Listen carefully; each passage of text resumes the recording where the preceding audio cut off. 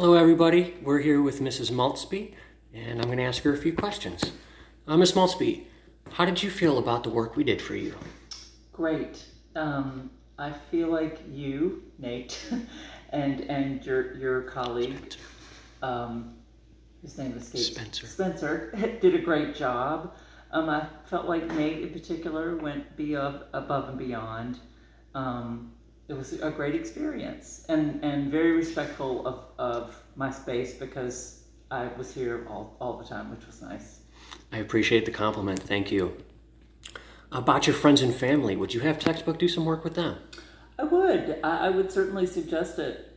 Absolutely. Oh, that's good. We like more business. Um, and things that stood out. Was there anything that we did extra that maybe wasn't in the bid or you just didn't expect could be done? Anything that you didn't know was going to happen but you enjoyed? Yes. Um, yes. Um, I, I sort of chose the wrong color for my bathroom.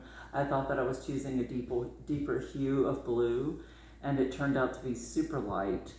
And um, so Nate put a third coat, you did, put a third coat on it and didn't charge me for it, which I really, really appreciated. It made a huge difference. So that that was a big deal. Uh, we do like going the extra mile here at Textbook. Thank you for that review. Mm -hmm. Appreciate it. Thank you.